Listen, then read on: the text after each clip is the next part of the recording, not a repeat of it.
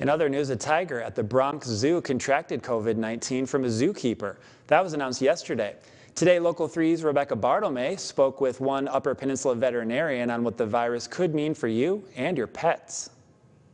Animal Medical Center of Marquette says they've been tracking the correlation between COVID 19 and animals since the pandemic began. There was the first case of the Pomeranian in, in Hong Kong that tested positive.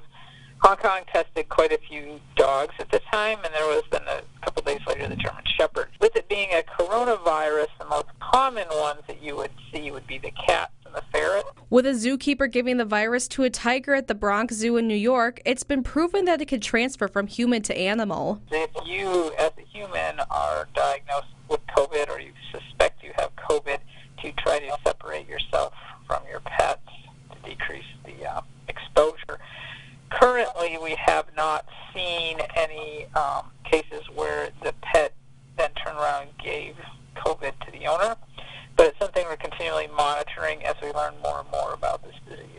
And even if your pet doesn't have the virus, the germs could still live on your pet like the surface of your computer keyboard or doorknob. We're now wearing masks when we're examining the dogs in the clinic just so we're keeping them as clean as possible in order to return them to their owner.